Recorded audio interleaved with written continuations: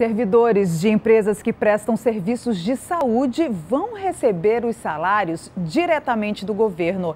A meta é evitar atraso nos pagamentos. O governador do estado anunciou a mudança por meio de uma rede social. Nós vamos pagar diretamente os salários de novembro e dezembro aos servidores. Foi uma sugestão feita pelo sindicato e acertada entre as partes em reunião realizada no sábado. Desde o início do ano, inúmeras manifestações foram realizadas por causa do atraso salarial, prejudicando os pacientes. Agora, o objetivo é aproximar esses trabalhadores do governo. E eu não vou sossegar enquanto eu não resolver esse problema da saúde. Eu não vou permitir que ninguém e que nada interfira nesse processo. No próximo sábado será realizada uma reunião no Ministério Público do Trabalho para definir como o pagamento será repassado aos funcionários. Depois será feito um levantamento das competências que não foram pagas a esses funcionários. Aproximadamente 7 milhões de reais referentes aos meses de outubro e novembro deste ano começam a ser pagos pelo governo, que já se tornou uma grande novidade para os terceirizados desde a da Total Saúde que a gente está nessa luta. Agora tudo vai melhorar? Deus queira que sim. Se for realmente verdade, vai melhorar para a gente, né? O governador também determinou que o PGE e a Casa Civil construam uma solução para tornar o sistema de saúde mais eficiente. O pagamento direto será feito pela Justiça do Trabalho. Ontem começou a campanha nacional de imunização contra o sarampo. A meta do Ministério da Saúde é vacinar pelo menos 95% dos jovens com idades entre 20 a 29 anos, não apenas aqui no Amazonas, mas em todo o país. O movimento foi tímido no primeiro dia de campanha. O Ministério da Saúde está oferecendo a vacina contra o sarampo para jovens entre 20 e 29 anos de idade. O público-alvo é o que menos procura as unidades de saúde em todo o país. Nós temos unidades que trabalham até 9 horas da noite e sábado até meio-dia. Todos os endereços estão no site da Censa. Então, esses horários são justamente para esse público que não pode, em horário comercial, frequentar as unidades. Juliana encontrou tempo na agenda para atualizar o cartão de imunização. Além da dose contra o sarampo, ela ainda tomou outras duas vacinas. É importante né, que os jovens procurem a vacinação, que sempre saibam se as vacinas estão em dia, atualizar o cartão, para que a gente possa se prevenir. Né? Mas não é só a vacina contra o sarampo que está disponível, não. Existem outras opções que são encontradas em qualquer posto de saúde de Manaus. Por isso, é importante que você tenha o cartão de vacinação em mãos para saber o que está regularizado. Eu, por exemplo, trouxe o meu aqui, vou apresentar a enfermeira, a dona Silene. Está tudo certo com a minha vacina? Tá, tudo ok. Tudo certinho, tudo atualizado. Tá? Tem que trazer também a carteira para a vacina para a gente dar uma olhada para ver se está tudo atualizado, gente. Tá? Não é só ver. Se estiver faltando alguma coisa, a gente faz, em qualquer unidade básica do, do município. É, mas há quem tenha caído de paraquedas no posto. Foi o caso desta vendedora. Foi preciso um cachorro lhe morder. Para eu atualizar as outras que faltavam. E aí agora pelo menos está tudo certo, né? Agora tá. A campanha nacional de vacinação contra o sarampo é um esforço do poder público para controlar o surto da doença em 19 estados brasileiros. As pessoas que fazem parte do público-alvo da campanha estão entre as que mais registraram casos confirmados da doença este ano. Em Manaus, não há casos de sarampo desde janeiro. Se as pessoas não se vacinarem, ficarem é, vulneráveis, a doença chegando aqui, vindo de qualquer estado desse, com certeza o sarampo volta para nossa cidade. Milena deixou a sala de vacinação com tudo em dia. Eu estou bem mais tranquila, faltava bastante para mim e agora já está tudo certinho. Tá tudo... Sem medo nenhum agora. Sem medo nenhum. Livre para ser feliz. a campanha segue até o dia 30 de novembro. Nós falamos aí sobre a baixa procura nos postos e o sarampo realmente é uma doença gravíssima que mata, já matou muita gente aqui no nosso estado. A repórter Bárbara Mitoso está ao vivo agora com a diretora do Departamento de Vigilância Ambiental e Epidemiológica que nos traz mais informações aí, tanto sobre a doença quanto sobre a vacinação. Não é isso mesmo, Bárbara? Muito bom dia para você. Bom dia, Mariana. Bom dia para você que acompanha os 6 Horas Notícias. É isso mesmo, nós estamos aqui com a enfermeira Marinélia Ferreira, ela que vai explicar um pouquinho para gente sobre é, os perigos né, dessa doença, que é o sarampo, e a importância dessa vacinação. Como a gente pôde ver aí na matéria do Alex Costa, né? Infelizmente, essa idade, jovem adulto aí de 20 a 29 anos, é uma idade que infelizmente tem aí uma baixa adesão com relação a essa vacina. É, enfermeira, muito bom dia, seja bem-vinda ao 6 Horas Notícias. Primeiramente, qual a importância dessa vacina para poder combater o sarampo? Bem, aqui em Manaus nós não estamos vivenciando um surto de sarampo. Porém, nós temos cerca de 19 estados brasileiros que estão com o vírus ativo, ou seja, existe o risco da transmissão. Pessoas que visitem a cidade ou pessoas que já venham doentes. Importante que se a nossa população não estiver vacinada, ela está desprotegida. E aí é, é uma doença perigosa, né, enfermeira? É uma doença que pode inclusive levar a óbito, né? Sim, é uma doença que não é uma doença benigna, como a maioria das pessoas acredita. É uma doença extremamente perigosa, que conforme os estudos, ela pode levar a óbito, especialmente crianças, e levar sequelas irreversíveis em relação aos adultos. Problemas neurológicos, problemas no sistema imunológico, que estão sendo estudados com esses últimos surtos que aconteceram. Então é importante o adulto também saber que para ele proteger a população, ele precisa ser vacinado. E enfermeira, é, nesse período em que a gente sabe que em janeiro teve aí esse controle né, do surto do ano passado, mas nesse ano tem algum número, tem alguns casos de sarampo? Não, nesse, no momento, depois da finalização do surto, nós não tivemos nenhum caso confirmado. Tivemos sim casos suspeitos que são monitorados, são notificados e investigados, mas no momento não temos nenhum caso confirmado. Mas se o vírus está circulando, o risco existe. A única forma de prevenção é a vacina. Isso mesmo. E como a senhora estava falando, não é um perigo somente para as crianças, né? Mas também é, para os adultos, porque pode levar aí a ter sequelas irreversíveis, como a senhora mesmo falou. E aí, infelizmente, a gente vê essa ba baixa adesão, né? A que se dá e qual a importância para que esse adulto se conscientize de poder se vacinar? Bem, esse é um movimento que está acontecendo em relação a todas as outras vacinas. Normalmente, essa nova geração né, de pais ou jovens jovens adultos acreditam que não existe mais aquela doença, que ela não circula, que ela já foi erradicada. Porém, ela circula, circula em outros estados, circula muitas vezes em outros países. Por isso, é importante essa população se vacinar.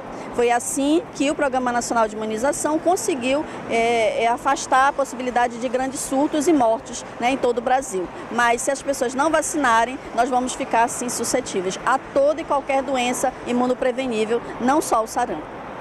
Enfermeira, para quem é, perdeu o cartão de vacina, não tem mais, não sabe onde está, o que acontece? Né? Infelizmente isso, a pessoa pode ir até essa sala de vacinação e se vacinar assim mesmo? Sim, ela pode. É, nós recomendamos que ela leve de preferência o cartão nacional do SUS, né, que é importante, um documento, né, é, ou o CPF. Mas se ela puder procurar lá no fundo da gaveta, aquele cartão esquecido, ah, mas já faz muito tempo, não tem problema. É importante porque nessa faixa etária as pessoas devem tomar duas doses da vacina. E se ela tomou uma dose, ela só vai complementar. Caso ela não ache o cartão, ela acaba tomando de novo a primeira dose e vai tomar às vezes desnecessariamente. Essa campanha é uma campanha seletiva. Leve em conta o que você já tomou de vacina. Então, é importante dar uma procurada lá naquela, naquele fundo da gaveta se realmente eu não tenho aquele cartão. Mesmo que esteja rasgadinho, molhado ou esquecido, mas é importante levar. E vamos fazer o convite de novo para que a população possa ir fazer, é, se vacinar né, em alguma dessas salas de vacinação. queria que a senhora fizesse esse convite, esse apelo para esses jovens adultos. Bem, eu convido a todos os adultos de 20 a 29 anos que procurem uma sala de vacina com seu cartão vacinal, cartão nacional do SUS ou CPF, e para fazer a avaliação do seu cartão e tomar a vacina se necessário. Importante, nós estamos protegendo toda uma população. E lembrando que, além das salas de vacina que nós temos durante o dia é, de 8 a 17, nós temos 10 salas que trabalham com horário ampliado até as 21 horas, e essas mesmas salas trabalham nos sábados de 8 a meio meio-dia. É só procurar o endereço é, no site da Ciência qual a sala de vacina mais próxima da sua residência. Muito obrigada pela sua participação no 6 Horas Notícias. Então é isso, Mariana. Fica aí o apelo para que esses jovens adultos possam procurar uma sala de vacinação e tomar a primeira ou a segunda dose da vacina. Volto com você. Obrigada, Bárbara. E não tem desculpa, porque tem horário estendido até a noite, como disse a enfermeira, inclusive aos sábados, para quem trabalha né, no dia de semana até mais tarde. Então, não tem desculpa, é uma doença grave, é preciso realmente se vacinar. Até o dia 30 de novembro a campanha, então a gente é, reforça reforça aí o apelo à nossa população para que a gente não tenha um novo surto de sarampo aqui no Amazonas. Obrigada, Bárbara. Obrigada, enfermeira, aí pela participação ao vivo no 6 Horas Notícias. Um boletim epidemiológico divulgado pela Fundação de Vigilância em Saúde do Amazonas na última quinta-feira apresenta queda de mais de 70% nos números de casos de doenças transmitidas pelo mosquito Aedes aegypti. Notícia boa, hein? Até outubro de 2019, houve uma redução de 74% nas notificações de Zika, com 113 casos este ano contra 446 no mesmo período de 2018. A dengue também reduziu 10%, com 4.158 casos notificados em 2019 e 4.611 em 2018. Já a febre chikungunya teve um aumento discreto de 2,3%, com 181 casos em 2019 contra 177 notificações no ano passado. Mesmo com a redução significativa, os cuidados precisam ser mantidos. Com a chegada do período chuvoso, conhecido como inverno amazônico, que inicia agora em novembro e vai até junho do próximo ano, o número de casos de doenças transmitidas pelo mosquito podem chegar até 90%. Deste número, 80% dos casos são registrados em domicílios habitados.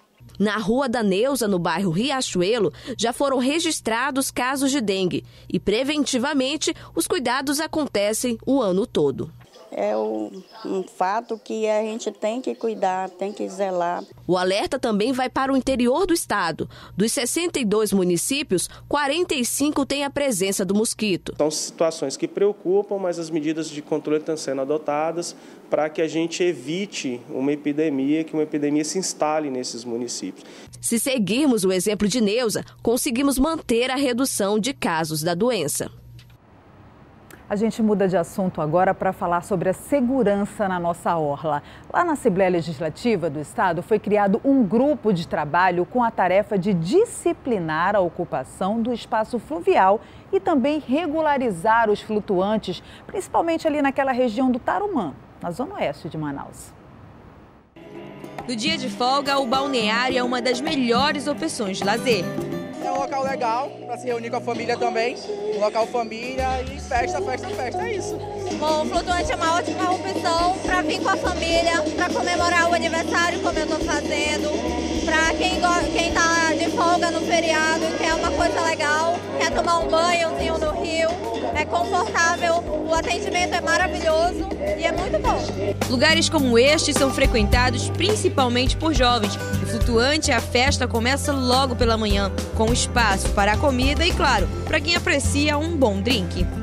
Mas é preciso se divertir com segurança. Os flutuantes possuem regras. Por exemplo, a partir das 18 horas, ninguém pode ficar na água. Os equipamentos de segurança estão a postos. A ideia é garantir ainda mais segurança para quem frequenta os flutuantes aqui da capital.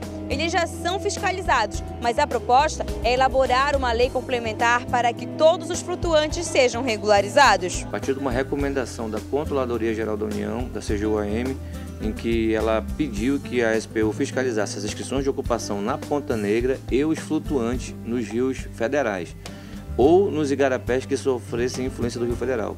E aqui em Manaus nós temos o Rio Negro, o Rio Amazonas e o Tarumã Sul, que sofrem influência do, do Rio Federal. Nesses locais, a Maria intensifica as fiscalizações. Jogando é, produto no rio, garrafa, copo. A gente pediu para que não faça isso, então, para prevenir justamente o rio. A gente trabalha com o pessoal que dá limpeza aos cominhos no final de semana, que o movimento é mais alto, fazendo a é, limpeza das garrafas que estão secas, os copos do chão, varrendo para que no final do dia ou no final da noite esteja tudo sob controle.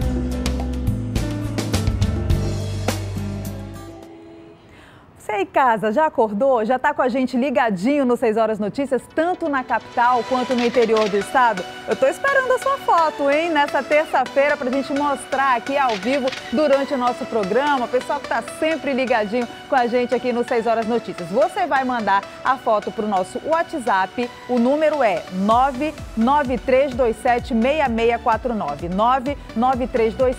993276649. Esse é o número do nosso WhatsApp para você mandar sua foto me diz qual é o seu nome, de que bairro você está falando, tanto na capital quanto no interior do estado, para a gente se conhecer aqui. Combinado? Não sai daí não, eu vou para um rápido intervalo comercial e volto já já.